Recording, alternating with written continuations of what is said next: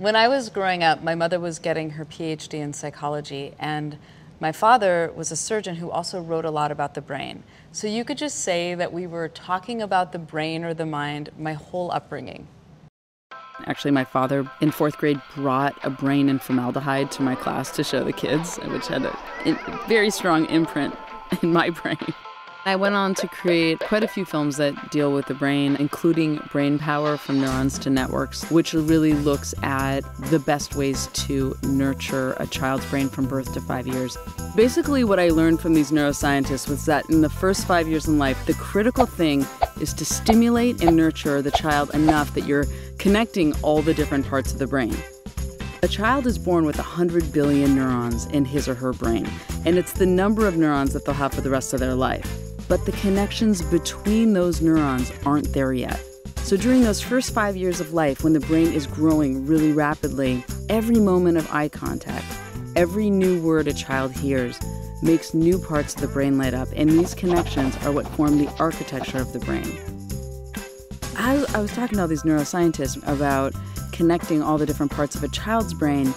It was as if they were talking to me about the web there's so many people that aren't connected and there's so many connections that haven't been made online and we need to think about all the ways to kind of stimulate and nurture the growth of the web too.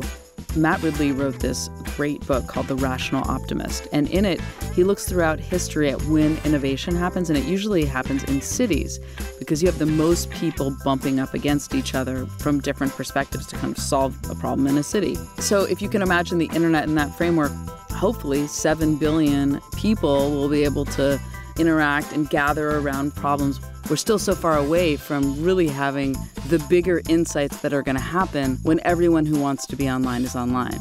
I mean, just imagine if you were using only a third of your brain's potential. When you think about the brain metaphor, there's some really exciting research done that shows that storytelling is one of the most effective ways to establish neural connections. It's through stories that a child learns to relate to the outside world, and studies have actually shown that preschoolers who have more stories read to them are better at empathizing with others. Just for example, if I'm telling my daughters there are girls all over the world your age and they can't get an education, they will receive it in one part of their brain.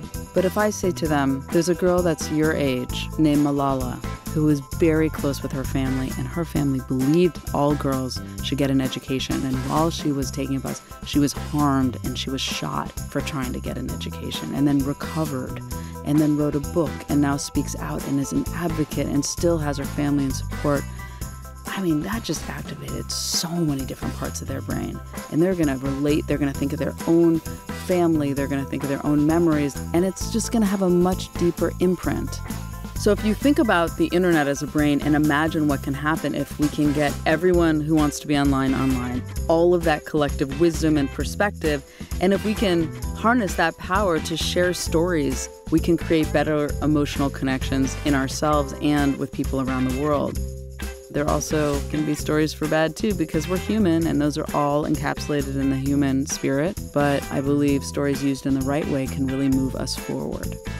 I do these collaborative films with people all over the world that I call cloud films. And I think one of the most exciting inventions that not enough people talk about is when on the cell phone they put that little button that makes it so you can film yourself. Think about the power of the visual, of video, of being able to actually see the faces of people going through something. We're really going to be able to see the cause and effect of our actions in real time. And as more people come online and interact, we're going to be compelled to work together to solve collective problems we face.